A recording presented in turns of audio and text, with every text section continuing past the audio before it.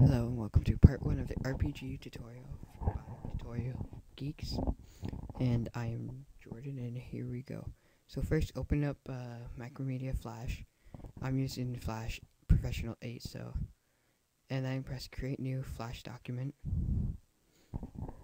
And now on the frame, on the first frame, uh, go to the actions and type in stop like so.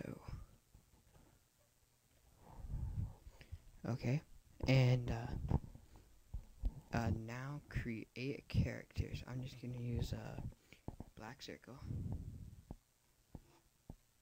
I'll give it a a red dot as an eye. I mean white dot.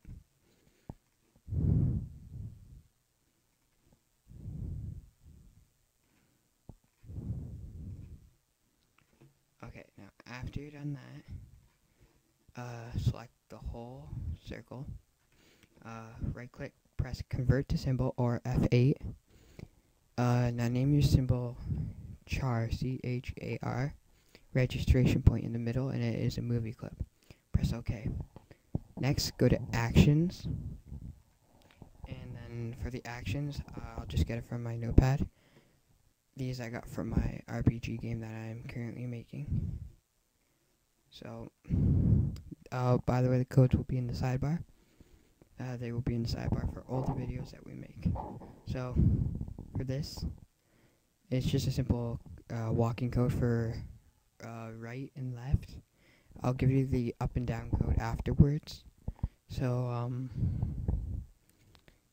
they'll be in the sidebar too, uh, under bonus. So now if you control enter, the movie, and your character can move. And it's as simple as that. It take it takes you under like 30 seconds to do all this. So um, thanks for watching. Uh, it's December 24th, almost noon, and have a Merry Christmas. And don't forget to uh, comment, rate subscribe, favor, or do anything. Uh, thanks for watching. Bye.